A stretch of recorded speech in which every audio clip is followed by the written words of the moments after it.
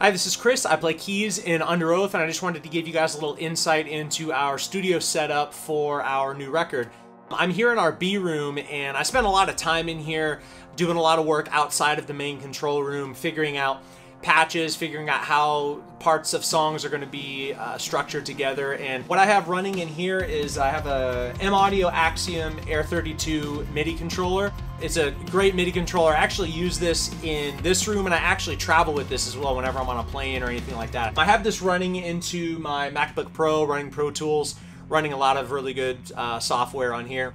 And the main advantage of being in this room is having this, the pair of M Audio BX8D3 monitors. They've got an amazing frequency range. They're loud as hell when I need them to be. And what's really cool is the low end reproduction that these have is awesome. We don't, there's not a sub in this room, but we realize that we don't even need one because no matter how low the stuff that I'm doing is, it's able to reproduce it and they just, they sound awesome. They're really, really good coming into this record knowing how important it is to us, we wanted to use only the best equipment, and it honestly wouldn't have been possible without M Audio.